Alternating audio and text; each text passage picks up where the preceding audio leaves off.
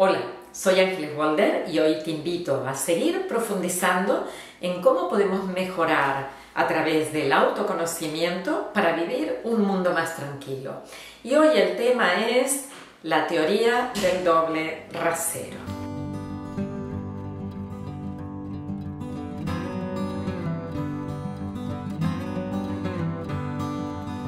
Te advierto una cosa, no existe tal teoría.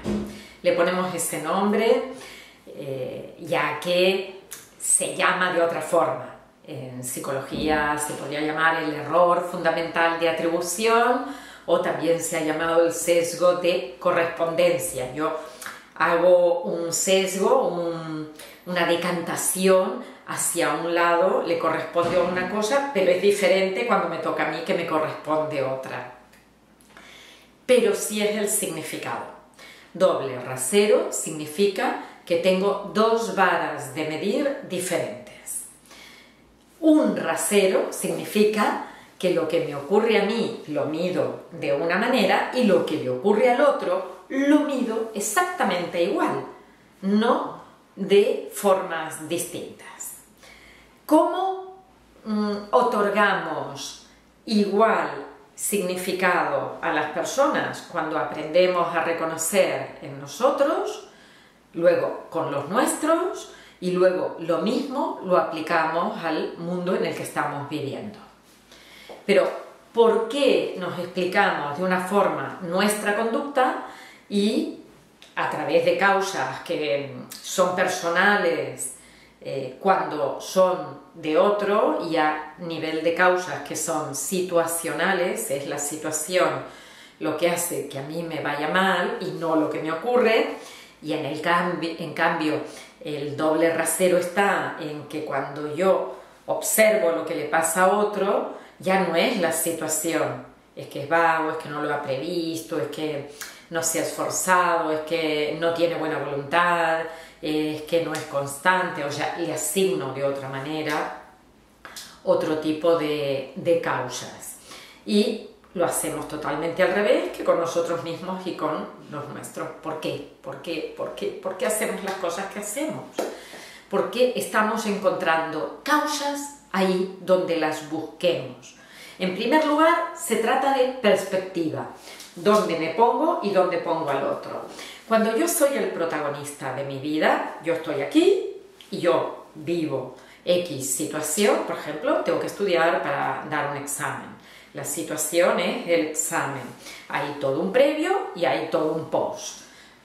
Esa situación yo la observo. Eh, observo mis libros, mi PC, el material con el que trabajo, las tutorías, las clases, eh, la preparación que yo hago, las veces que estudié, las que no, los tiempos que utilicé, cómo lo hice, o sea, observo lo que hay y puedo decir, iba a destinar más tiempo, pero como tuve que trabajar más, no pude prepararme del todo bien, tal como yo hubiera querido, o el día que hice el examen, que era online, justo antes se fue la luz, estuve súper nerviosa porque si iba la luz y se cortaba, se me podía cortar el examen y perdía una presentación académica ah, o eh, el tipo de preguntas que yo veía, ese tipo de preguntas no son las mismas y habituales que hay dentro de los exámenes de preparación de la universidad. O sea, voy a encontrar motivos miles y si no, hacer el ejercicio. Un día que hubierais suspendido un examen o que hubierais tenido, por ejemplo, lo mismo aplicado a hablar en público o hacer una presentación en una reunión en una empresa. O a, por ejemplo, tener una entrevista de trabajo, haría lo mismo, explicaría desde lo que vi. Llegué a esa entrevista, había mucha gente sentada, ya me, me sentí nerviosa porque pensé, aquí debe ser muy difícil para que te contraten, entonces todo el speech que yo traía ya se me fue desmontando, luego me senté, me hicieron un tipo de preguntas que yo no tenía previstas, no sabía cómo responderlas, pero siempre está el foco fuera Eso es lo que tenéis que eh, mirar y observar. Por eso os digo, como práctica, podéis coger tres, cuatro cosas así donde hubierais sentido que no os ha ido tan bien como hubierais querido y mirar desde dónde las explicáis. No hoy, ahora que ya han escuchado esto, sino desde dónde os las explicabais antes. El foco estaba depositado fuera o dentro. O en un 90% fuera, un 10% dentro. ¿Dónde andaba? Eso, es lo que se llama perspectiva. Está ahí, es la situación, o está aquí y soy yo.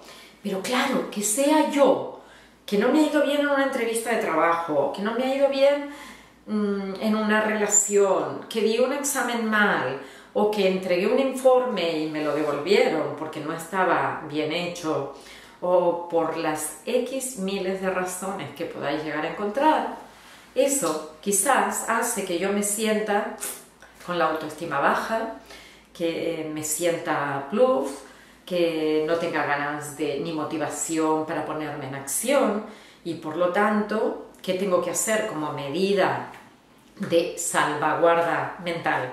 Depositarlo fuera. Pero ahí está el error. Cuando me mido a mí, me mido por él afuera, cuando mido a otro, lo mido por él adentro. Excepto que sea alguien a quien yo quiero proteger. Cuando me pasa algo a mí, yo en perspectiva soy actor, o sea, soy la actriz de mi película. Y haremos otro trabajito, ya veréis, de ser el protagonista. Y él, como el ambiente es lo que domina el todo de mi mirada, lo deposito fuera. Y cuando se trata de otra persona, voy a decir, es que no preparó el examen. Si yo lo sé, me pidió los apuntes a último momento. Eh, es una caradura, porque además eh, yo lo mío me lo ocurro, ella también lo puede hacer o él también podría hacerlo. Y cuanto más nos desagrade por la situación o por la persona, más le vamos a acusar. Nos volvemos unos acusicas espantosos. Es irresponsable, es bueno, vago porque es un término que se utiliza mucho en Argentina, pero qué vago, no, lo, no, no ha hecho nada, mira cómo está, ¿no? Y ahí, cuando empezamos a acusar y no pedimos opinión de qué, la, cuál ha sido la manera de vivir del otro, entramos en una rueda que es muy difícil de salir, porque luego lo que yo he proyectado sobre la persona es lo que voy a vivir continuamente voy a estar viendo el mismo tipo de situaciones que me van a refrendar mi opinión. Y cuando hemos colocado a una persona en una cajita, nos es muy difícil abrir ese cajoncito, sacarla de ahí y rehabilitarla. Y eso es feo. Eso es insano para las relaciones. Eso, si aprendemos a, a practicar ese ejercicio de decir, vale, tomo eventos en negativo, analizo cuál es mi opinión sobre mí, sobre ello. Tomo eventos que hayan vivido otras personas y que he catalogado en negativo. Y hoy soy capaz de hablar, preguntar, pedirle la opinión, ver qué es lo que ha experimentado el otro seguramente estaréis creando relaciones de calidad. Cada día más necesitamos relaciones sanas. No otorguemos culpas, no las hay, porque si la hay para el otro, la hay para mí. Cada vez que tenemos un problema con otra persona, solo lo tenemos con nosotros mismos. Y tenemos que ir aquí adentro ¿Qué pasa, por ejemplo, con los hermanitos jugando? Se pelean por un juguete. No porque yo lo tenía, no porque era mío, no porque eh, él me lo saca siempre. Y así se genera una división, una ruptura, que en lugar de permitir que el juego sea el sitio más perfecto para aprender a relacionarse sea el lugar donde aprendemos a pelearnos y a justificarnos. Por eso utilizamos este doble rasero. Al otro lo vemos como protagonista directo, sin la situación. Y a nosotros, nosotros vemos como protagonistas, vemos la situación.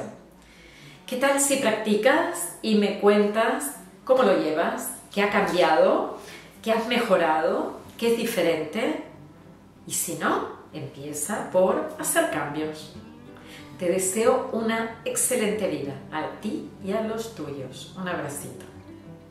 Si te ha gustado este vídeo, dale a me gusta y compártelo. Suscríbete a mi canal y además, si quieres recibir notificaciones, toca la campanita y te llegará la información cada vez que saquemos un vídeo.